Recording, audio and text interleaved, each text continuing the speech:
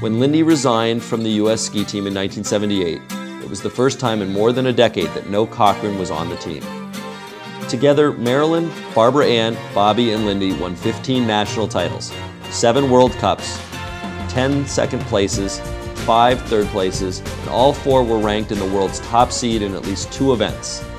In 1973, the Cochrans earned 216 out of 255 World Cup points scored by the American team.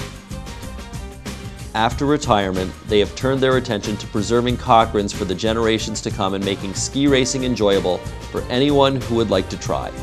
While competition is important in ski racing, and you know the Cochran kids are, um, meaning Bob and, and all our ski races, do have a competitive element one of the things that we've always tried to emphasize is, um, is giving kids the opportunity, and that's a part of our being low, low cost and being available to our local kids. And seeing improvement in kids, and um, we try to really emphasize and praise improvement of at whatever level you're at. Cochran Ski Area, from the beginning, dedicated itself to serving any skier interested in learning.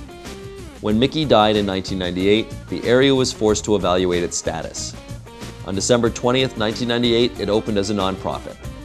Cochran's has always been dependent on volunteers, parents, and skiers, so as one supporter said, it befits a family and a ski area that has always put people and sport ahead of profit.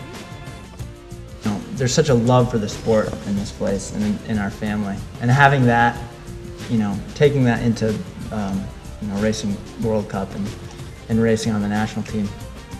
It's a huge advantage, and I think uh, I think that's that's purely a function of you know the, the attitude here and the attitude in our family. You know, winning is is it's great, you know, but but I, I you know they enjoy doing it, enjoy the process. The Vermont Ski Museum Hall of Fame welcomes Mickey Cochran, Ginny Cochran, Marilyn Cochran Brown, Barbara Ann Cochran, Bob Cochran, and Lindy Cochran Kelly.